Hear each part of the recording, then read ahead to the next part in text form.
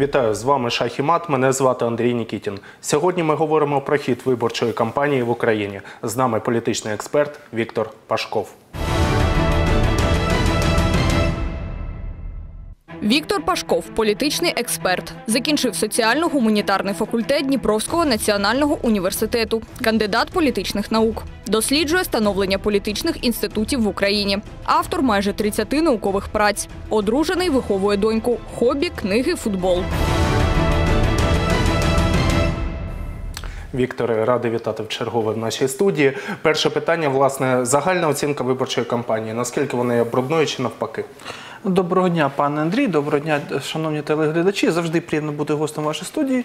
Е, От щодо першого питання, не можна сказати, що нинішня кампанія бруднішою ніж попередня, оскільки спостерігається певна така анабіозна е, ситуація, анабіозний сон під час перебігу цієї кампанії. Тобто, начебто, партії ведуть е, агітацію, палатки, бікборди, але такого бруду чи прямих зіткнень ми не спостерігаємо. Фактично, кожна політична сила у місті та області працює на свій електорат і не намагається е, сильно конфліктувати і мобілізувати е, тих, хто ще не визначився, е, відкладаючи це питання на потім. Тому от великого бруду поки що у Дніпрі не спостерігається. Ну, от, скажімо, така ситуація, як Філатов і Зеленка, ми пам'ятаємо. Е, Чи це нормальний елемент кампанії, з вашої точки Це зору? нормальний елемент в таких умовах. Тут ще є питання чисто політехнологічне. Це все ж таки його опоненти чи його штаб придумав цю піар е, затею. І Можу лише додати, що немає великого бруду ще тому, що більшість політичних гравців в Дніпрі вже.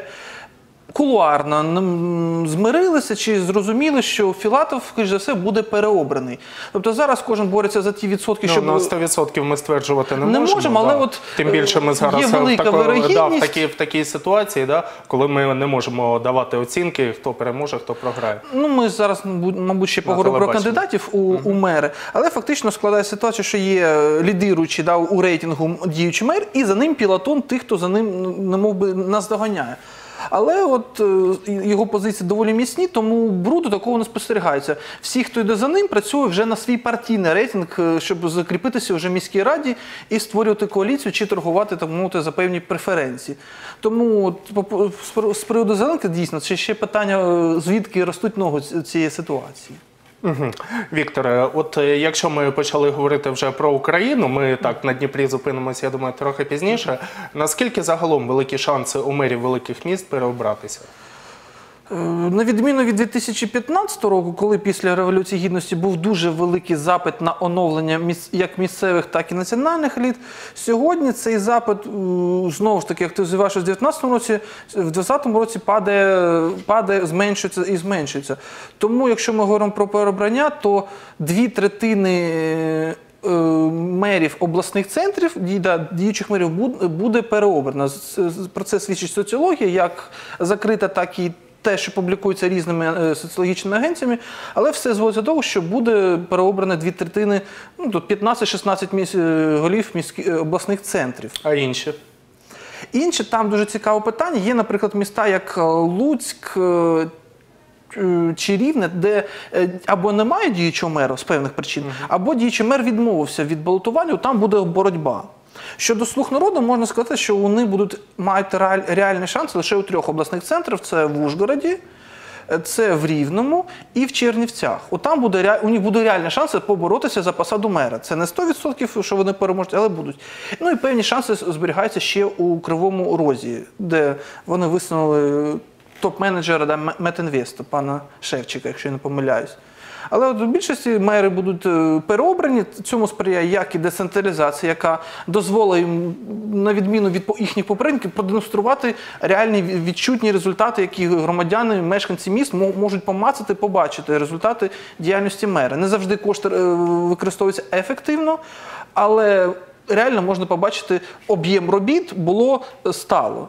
Тому це грає на користь місцевим елітам. Ну і до того ж, тотальне розчарування у центральній владі ну, не, не треба бути там великим політологом, щоб просто побачити, як згідно відкритих соціологічних даних падає рейтинг слуги, слуги народу кожного місяця на 2, 3, а то й 4 відсотки. Пане Вікторе, я ще раз таке невеличке вам зауваження роблю. Да? Нас Нацрада може елементарно Добре. оштрафувати. Да. Тобто давайте не будемо говорити так відверто, хто там проходить, хто не проходить. Це просто зауваження таке.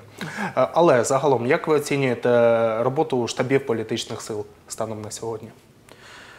Е, На сьогодні всі вже розвернулися, всі працюють. Вже місяця два ведеться активна е, піар-кампанія, але вона зводиться ну, до певною міру примітивних е, рек- рекламної кампанії і невеликої агітації ще в соціальних мережах. Тобто таких класичних, що було спостерігалося в 2010-2015 році, коли ходили від дверей до дверей, вже немає. Чомусь ці технологічні да, штуки відходять на задній план. Тобто попереду е, є лише пряма вулична реклама. Тобто сказати, що там штаби щось придумують або креативлять, не можна.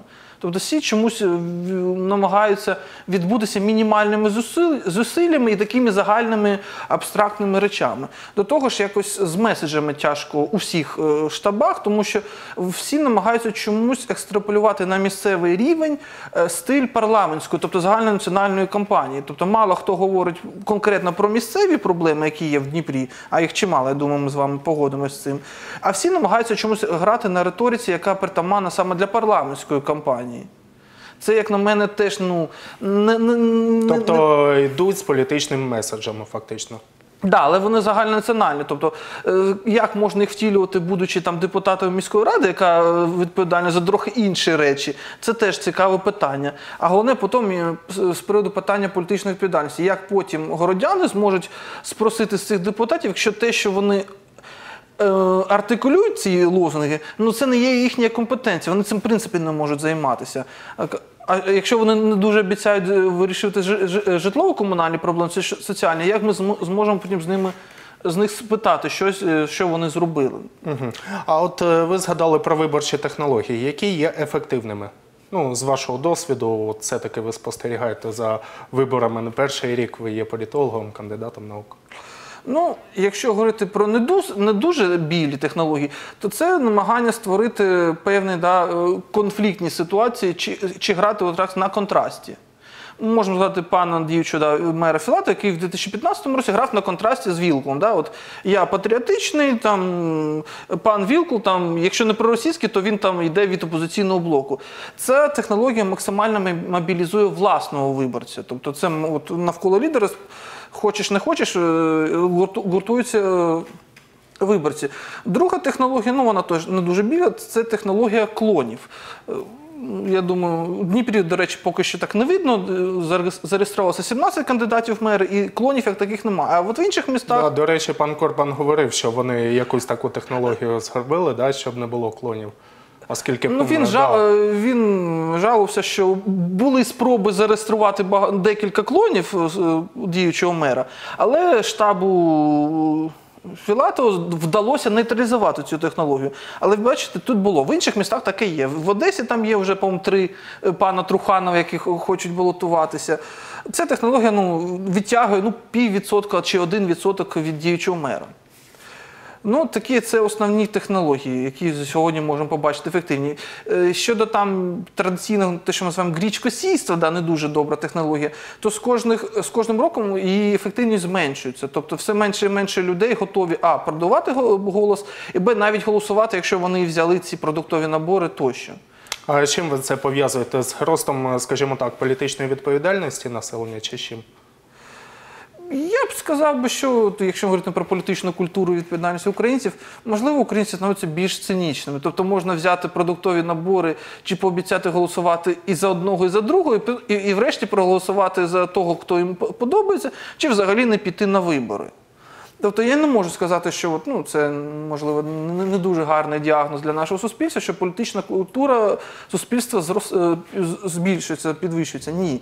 Скоріше люди становляться просто цинічнішими. І вони розуміють, що те, що вони взяли, не означає, що вони зобов'язані робити так, як їм говорять, і голосувати, продавати свій голос. Так, ну ми з вами почали вже говорити про хід кампанії, і ви згадали про політичні певні гасла, з якими йдуть партії. Наскільки вони є доречними саме на місцевому рівні? Ситуація ж і в тому парадоксальна, що вони не є доречними. Тобто, згідно з закону про місцеве самоврядування, міська рада займається широким колом е, питань жит- життєдіяльності міста від е, житлово-комунального господарства, соціальних проблем, транспорту, інфраструктури доріг, але вона не займається тим, що пропагують наші партії зараз в своїх меседжах. Тобто питання ідеології, питання там зовнішньої політики чи е, внутрішньо там політичних щодо мов чи інших, ну це не є взагалі відповідальністю за законом місцевих рад. Тому апелювання до цього ну, зводиться лише до того, щоб мобілізувати людей якраз таки навколо загальнаціональних гасел. Але ігноруючи місцеву специфіку. Я ж це дуже погано, тому що знаєте, як каналізація та дороги не мають партійних та ідеологічних кольорів. Ними треба займатися постійно. А коли У ми- зв'язку, у зв'язку з цим я, до речі, хочу задати питання: да? а, чому от політики, да, розуміючи це, да, все одно роблять е, от такі речі ході кампанії? Ну, знаєте, наші політики, наша еліта, як місцева, так і національна, нічим не відрізняється від е, суспільства, з якого вона і походить. Тому це теж певний цинізм, тому що ці гасла не потребують інших додаткових ані витрат. Ти просто береш е, партійну риторику на рівні центрального штабу в Києві, вішаєш по місту і спокійно агітуєш, намагаєшся мобілізувати прихильників саме цієї ідейної платформи. Плюс, якщо ти е, робиш акцент на загальнонаціональних гаслах, ти апріорі менше робиш ставку на місцеві проблеми і менше обіцяєш. А ну, будь-якому меру і депутату місцевому набагато легше потім діяти, коли він не пов'язаний навіть морально обіцянками перед виборцем. Я їх не давав, да, ні я з них, ні я сніг розбрасував, ні мені його і збирати. Тому це така ситуація певне від безвідповідальності, цинізму вона присутня. Е, Єдиний такий негативний момент буде, потім буде відбуватися певний хаос якраз таки у господарюванні у, у містах, тому що без чіткої платформи або програми, що вони обіцяли, е, у депутатів взагалі не буде ніяких обмежуючих ліній чи бар'єрів, щоб не робити певні речі. Тобто вони будуть управляти ну, дійсно на власний розсуд, як вони бачать е, концепцію розвитку міста. А те, що там думає громада, іноді ці інтереси взагалі не співпадають, ну це вже буде питання. Також безповідальності е, громади да, міської чи сільської, що вони самі не поставили питання, а що ж ви обіцяєте конкретно для життєдіяльності міста. Чи буде у мене в дворі кращий майданчик, чи буде новий асфальт, чи буде перемонтовані ліфти, дороги тощо. Да, до речі, стосовно ремонтів, е, чому е, дуже часто буває так, що вони починають е, робитися от саме в переддень виборів, фактично? Не те, щоб складно було відповісти. Ну, це політична демагогія певним чином. Ви Так, вважаєте? да, це, на- це от просто демагогія, це навіть не політичний там, ход чи трюк, е, прийом. Це от просто демагогія, вона розрахована, щоб створити буквально за 2-3 тижні до дня голосування у виборців е, ефект, що немов у місті все розвивається, що робиться. Але соціологія показує, що це не працює. Тобто всі цим користуються сліпо. Тобто це свого роду таке грічкосійство. Це грічкосійство, але воно працює ще менше, ніж традиційне грічкосійство, коли людина дають продуктовий набір. Ну, у нас люди живуть не одне електоральний цикл, не, не один раз вже голосують, воно не працює. Тобто всі бачать і всі розуміють, що це демагогія, називаємо це так, щоб не. е, Ну, ми вже назвали. Ну, щоб не переходити на лайку чи те, що думають е, громадяни.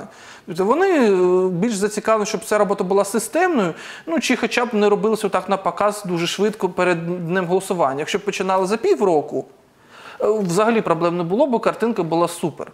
Але чомусь всі, чому це не те, що там що діюча влада і будь-якого місця, що опозиція, якщо має певні ресурси, там депутати мають свої фонди на округи, то вони чомусь починають діяти саме так, от у- сліпо, як у- про, бачу, як вівсі, да, роблять одне і те ж саме. Це не є ефективно, ну це, це просто не працює, але просто копіюється ця практика. От з вашої точки зору, наскільки є правильним те, що е, кандидати до місцевих рад висуваються саме від політичних партій? Це міста 10 тисяч плюс.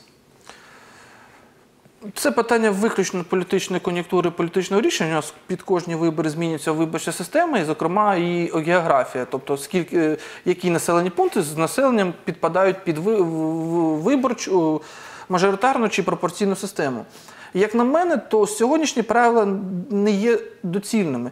І попередня редакція, коли говорилося, що пропорційна система буде діяти у містах та громадах більш понад 90 тисяч виборців, була більш оптимальною.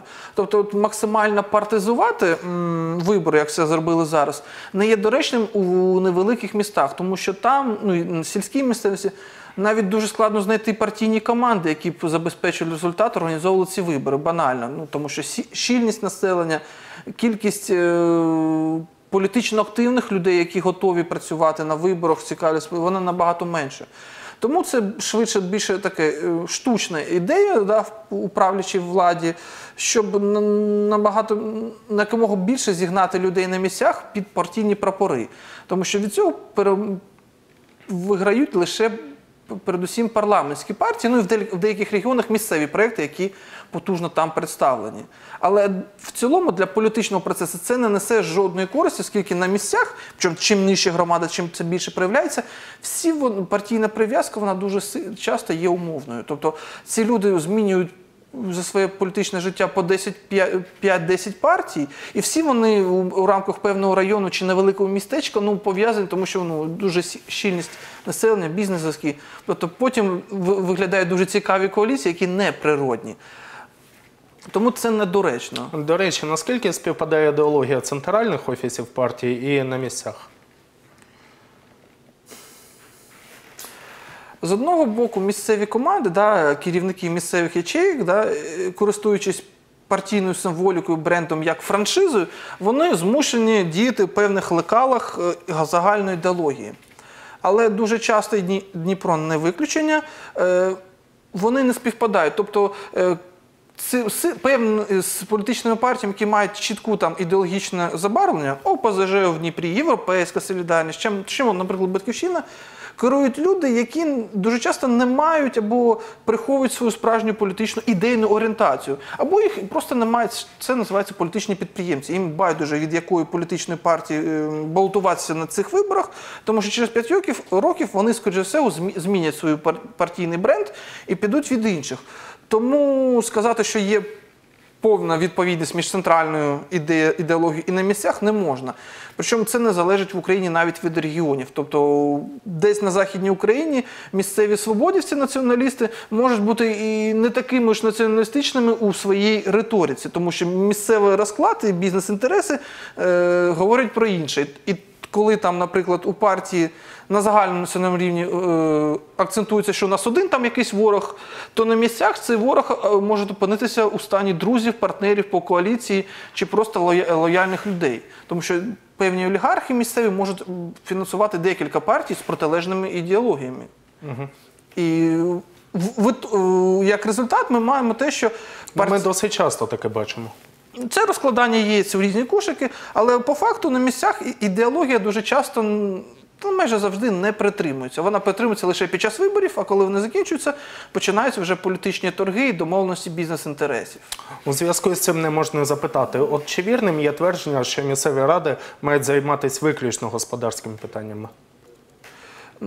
Це вірно, мабуть, на відсотків 90. Єдине виключення, я би сказав, що міські ради великих міст і обласні ради все ж таки мають бути з таким ж гібридною компетенцією. Тобто є господарські питання, це районна рада у місті, районна рада в районі в області. Е, А щодо от міських і обласних, то тут є певні варіації, тому що питання є дуже часто культурної політики, освітньої, які стикаються з повноваженнями центральної влади. У нас дуже багато від фінансування шкіл там.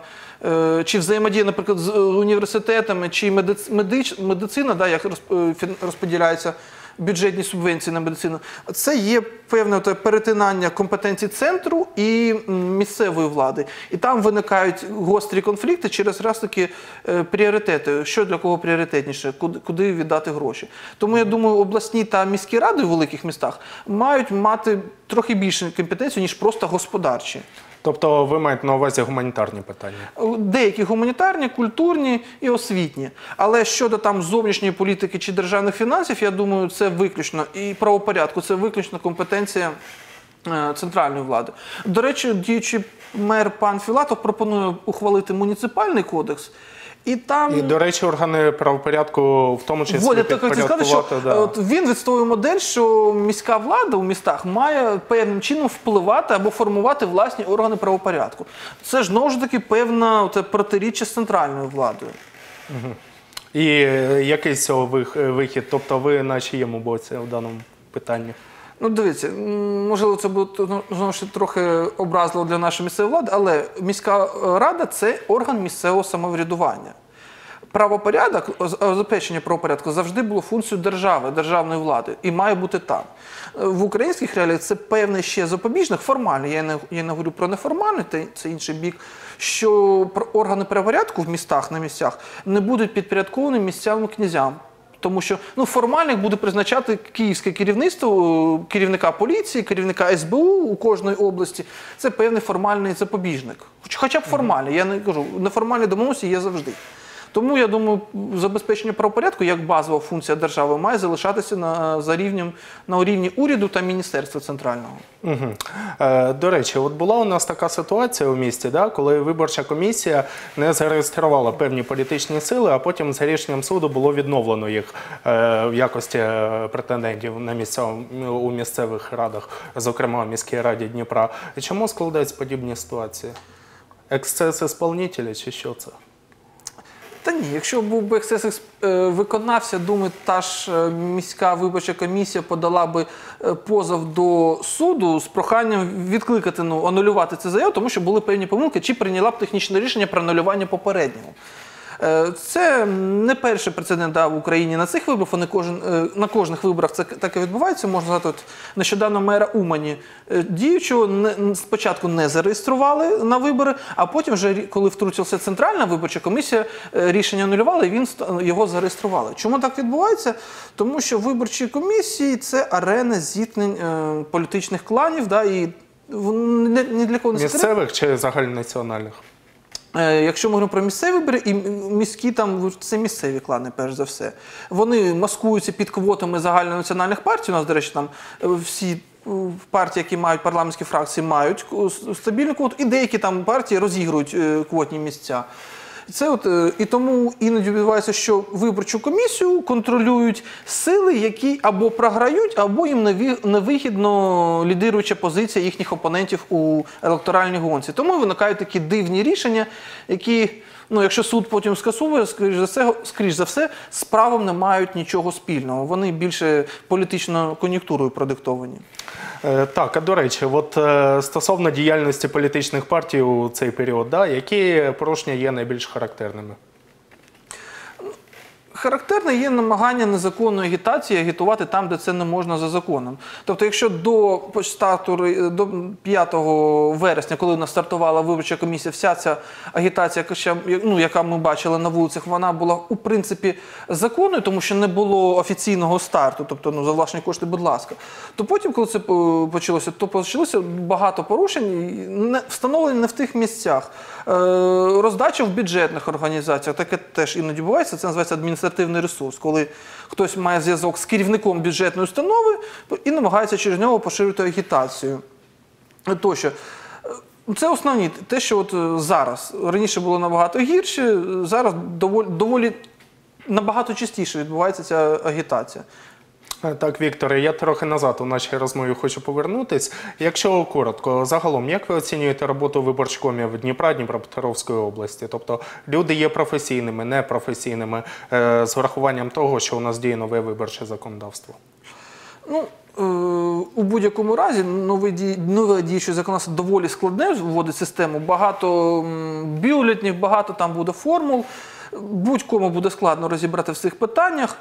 Але, по-перше, виборча комісія я ж наголошую, вона формується за квотним принципом, і це відповідальність партій, які делегують людей у цю комісію щодо ну, їхньої професійності. А загалом, попри те, що там є певні називаємо це так, напруження, конфлікти, да, заяви різні щодо е, виборчої комісії. Поки що не спостерігається таких уж кричущих рішень, коли рішення місцевої комісії да, міської йдуть всупереч здоровому глузду і ну, ре- реальній картинці да, політичних розкладів.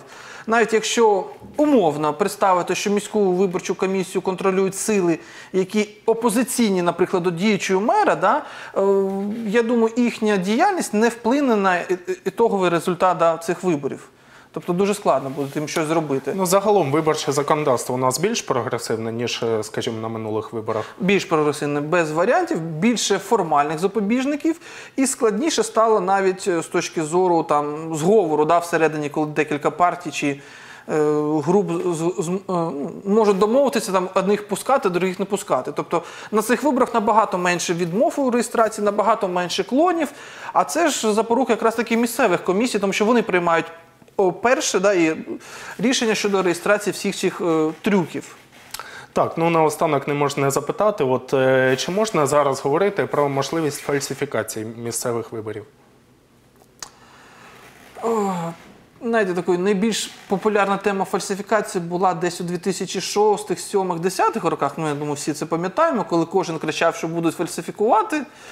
Щодо нинішніх, е, то з одного боку компанія відбувається дуже тихо, з іншого боку, у принципі, соціологічні дані, фокус групи і от опитування в день голосів вони теж покажуть е, більш-менш приблизну картину, що відбувається.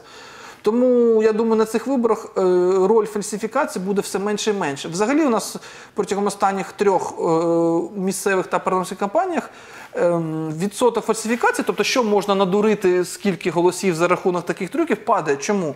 Тому що зростає конкуренція, зростає всі за, за всіма дивляться. Це е, головна запорука, що ну, демократія це не коли всі згоджуються, а коли в принципі інших варіантів немає. І ці правила е, дозволяють вижити всім на, політи- на політичному полі. Тому я думаю, фальсифікації не будуть грати не то, що там якусь велику роль.